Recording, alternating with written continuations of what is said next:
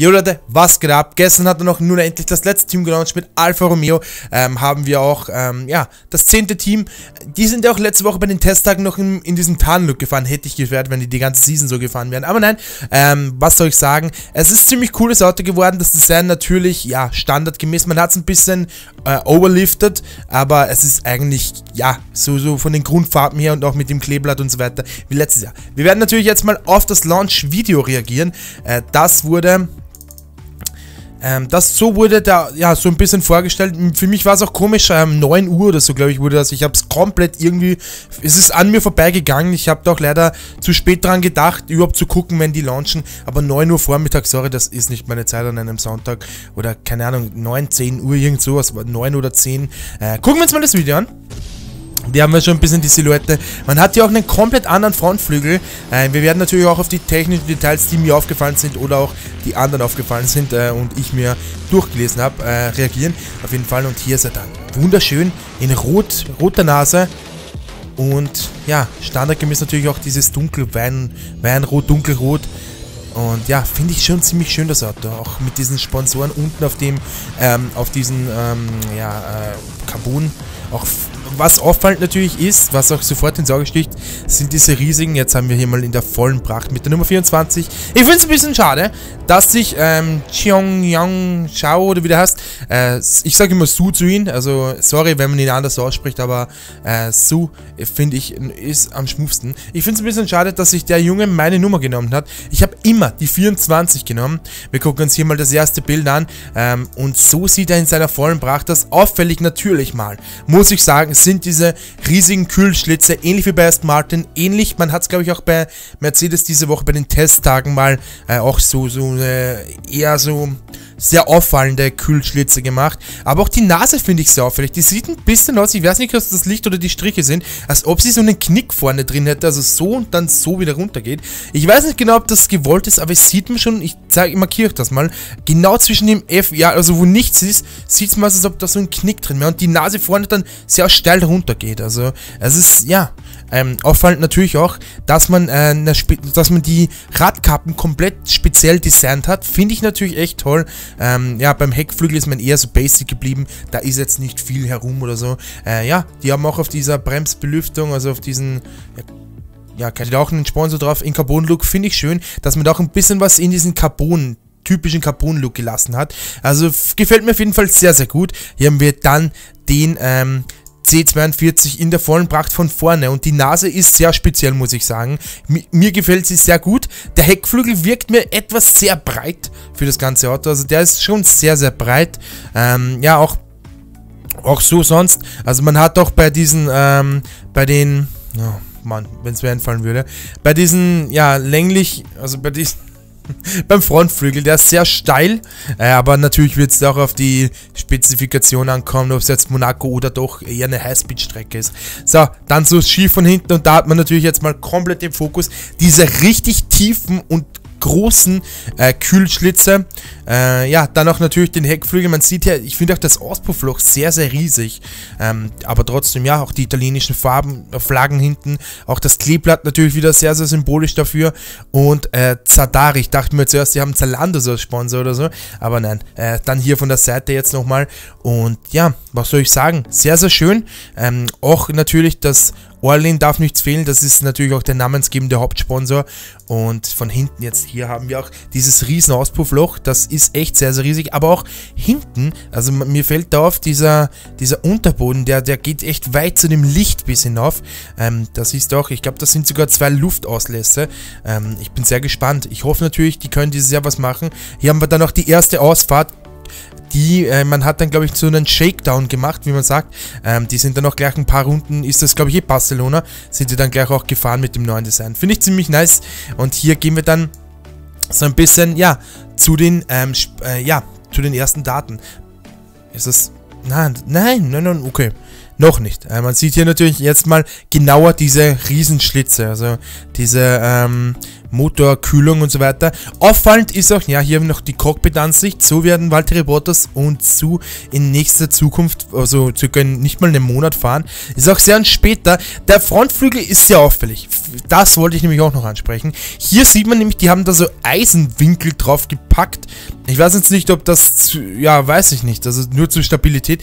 Ich finde es ehrlich gesagt richtig hässlich. Aber vielleicht bringt es doch was, also dass das Ganze stabiler bleibt. Vielleicht ist auch wegen Crash-Test oder so, dass dann sonst nicht durchgekommen wäre. Hier haben wir dann auch die wir vorhin angesprochenen speziellen ähm, Radkappen. Finde ich auch cool, auch in dem Design treu geblieben, auf jeden Fall. Also das ist halt echt cool. Und dann hier die drei Fahrer. Also wir haben hier mal Valtteri Bottas natürlich, der ist neu dazugekommen. Auch ähm, Su, der ist auch neu hinzugekommen. Und Robert Kubica. Ich glaube, das ist auch schon der langjährige ähm, Test-, Reserve- und Ersatzfahrer. Also also Reserve- und Ersatzfahrer ist gleich. Test- und Entwicklungsfahrer und Ersatzfahrer. Hier haben wir dann den Rennanzug. Ähm, ja, ist ziemlich, ja, normal. Ich meine, schwarz, ein bisschen weiß und ja, dieser eine Streifen rot, wo dann Alfa Romeo draufsteht. Das gleiche dann in Bottas Form. Und ja, dann haben wir hier schon mal die ersten Vergleiche zwischen dem, nein, die, bevor wir uns die angucken, werden wir jetzt mal auf die, ähm, genau, auf die ersten Sachen eingehen. Und zwar ist natürlich mal, man setzt bei der, man setzt,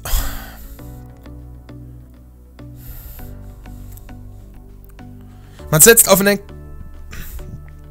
man setzt auf eine konventionelle Push-Road-Radaufhängung, also eigentlich so standardmäßig, muss ich sagen. Hier auch im Bild sieht man das. Ähm, diese ganz, äh, die, die, die einfachen Streben und so weiter, das ist äh, ziemlich simpel und auch ziemlich standardmäßig. Dann gucken wir uns hier mal an. Wir, die Sicht geht Richtung Heckflügel. Und was soll ich da sagen? Genau an der Hinterachse sind wir hier und ja, rund um den Ferrari-Motor, also man fährt natürlich als Ferrari-Partner natürlich auch mit einem Ferrari-Motor, äh, wieder hier sehr konventionell gehalten. Man hat jetzt keine großen äh, Unterschiede irgendwie gemacht. Ähm, bis zum ersten Rennen könnte sich das natürlich auch noch ändern. Also man entwickelt ja nach wie vor weiter bis zum, bis zum Saisonstart. Dann natürlich auch, man, man, entwickelt die ganze Season. Man muss natürlich die Cost Cap ein bisschen anrechnen, also diese 145 Millionen, die natürlich ausgeschlossen der Fahrergehälter sind.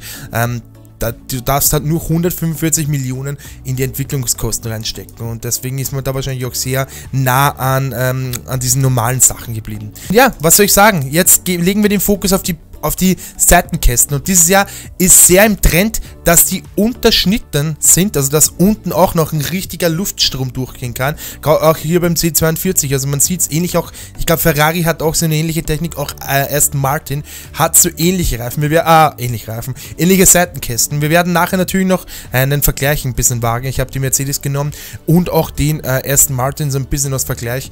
Ähm, die Kühlschlitze natürlich, ja, braucht man eigentlich nicht stark besprechen. Die werden hoffentlich ordentlich was bringen. Auffallend sind natürlich auch die, Kühl äh, die Lufteinlässe an der Vorderseite. Die sind sehr, sehr riesig. Ähm, größer wie bei anderen Teams, fällt mir auf jeden Fall auf.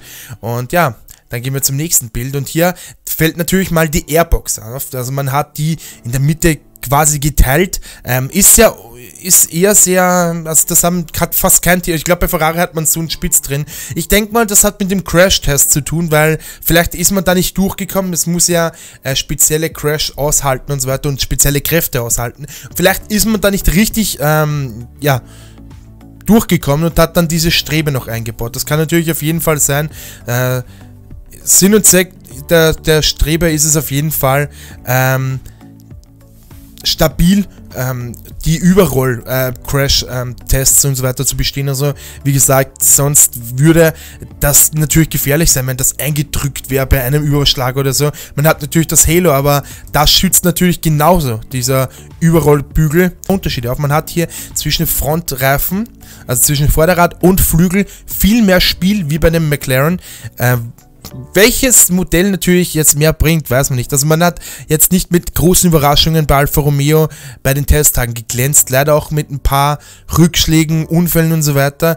Ähm, aber das hat eigentlich jedes Team so einen kleinen Rückfall gehabt. Äh, dann gehen wir ein bisschen zum Hinterreifen. Die sind ein bisschen weiter hinten, also zum Vorderreifen. Die sind ein bisschen weiter hinten wie bei McLaren. Ist auch klar, wenn der Flügel ein bisschen weiter vorne ist, müssen wir auch mit den Reifen ein bisschen weiter zurückgehen. Äh, dann äh, Monocoque ähm, Anfang ist eigentlich ziemlich gleich. Also auch mit diesen, ähm, wo früher die äh, Bartsports waren, ist eigentlich alles ziemlich ident. Dann gehen wir ein bisschen weiter hinten zu diesem, ja, zu der Airbox. Ähm, ja, ist auch auf gleicher Höhe. Das ist eh das, von der gehen wir auch von der Mitte aus. Auch die Hinterreifen sind dann wieder gleich, aber man hat der komplette Vorderachse ein bisschen weit Stückchen zurück, bisschen weiter hinten als, ähm, als bei McLaren. Auch die Nase vorne ist ein bisschen länger. Also sind schon ein bisschen länger, muss man sagen. Die Hinterachse und auch hinten hören sie damit gleich auf. Also man setzt da bei der Achse ein bisschen weiter hinten an wie bei McLaren. Ob was da jetzt besser ist, keine Ahnung, aber ich denke mal natürlich, der McLaren wird schon ordentlich Wumms haben. Dann haben wir den Vergleich natürlich zum 2021er Modell. Äh, designmäßig hat man sich jetzt nicht großartig rausgetraut, muss ich sagen. Ein kleines Facelift hat man natürlich ob, ja gemacht, ähm, aber ja, die Nase gefällt mir. Irgendwie hat die Nase was, also gerade die Nase an sich, der Frontflügel nicht, aber die Nase, die geht so, so knickt drüber. Sehr, sehr interessant das Ganze. Äh, dann gehen wir ins zweite Bild, hier auch ähm, die Frontansicht. Wie gesagt, man, man hat dann halt das ganze Weiß in Rot geändert und die Nase vorne an sich, also der, der Flügel ist nur noch schwarz, finde ich auch ziemlich interessant. Und hier der direkte Vergleich zu Mercedes, den ich spiegeln musste, dass wir hier einen Vergleich haben. Auffallend sind auf jeden Fall mal natürlich, ähm, dass man hinten, also äh, bei der Motorabdeckung, sehr, sehr andere Wege gegangen ist. Mercedes eher sehr steil runter, sie sind da flacher und dann hinten haben sie mal aufgehört. Auch die Nase vorne, wie gesagt, die würde ich mir gerne in der anderen Ansicht. Hier nochmal mit dem McLaren, die sind auch ähnlich. Also der McLaren und sie ähm, von der Ansicht her aber die Seitenkästen sind, würde ich fast sagen, zum ersten Martin sehr, sehr ähnlich. Also auch der Lufteinlass, der ist natürlich bei, bei Aston Martin noch ein bisschen markanter. Trotzdem auch unten diese ganze, äh, die, bei den Seitenkästen, das ist schon sehr ähnlich zum Aston Martin. Auch hinten. Also ich glaube, das sind schon sehr ähnliche Autos. Nur die Nase, da sind sie dann wieder einen anderen Weg gegangen. Hier jetzt mal der Nasenvergleich zum Schwestern-Tochtern-Team quasi. Ähm, natürlich arbeiten sie nicht eng zusammen, aber sie teilen sich natürlich den Motor. Und da ist die Nase, fällt schon auch ein bisschen auf, dass man, ja, bei der Nase, ich weiß nicht, die, die sind sowieso ich weiß nicht, ob es das Licht ist, aber die sieht ein bisschen makaber aus. Äh, oder markant, würde ich mal sagen.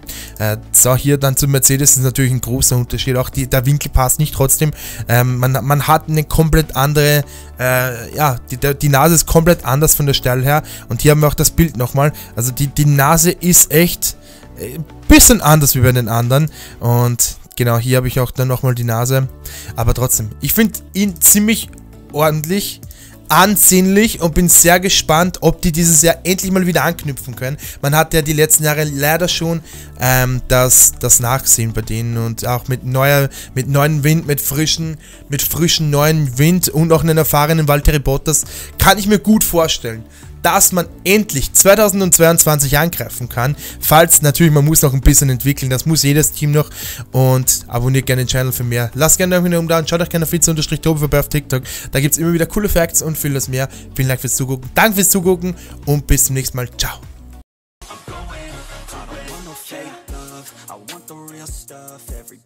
listen up Cause I'll only say it once I'm gonna show you all the path If you want it bad I'm gonna show you it's at Yeah, how you can get it back. Yeah, cause I ain't never done. I'll be number one Working hella hard until I get just what I want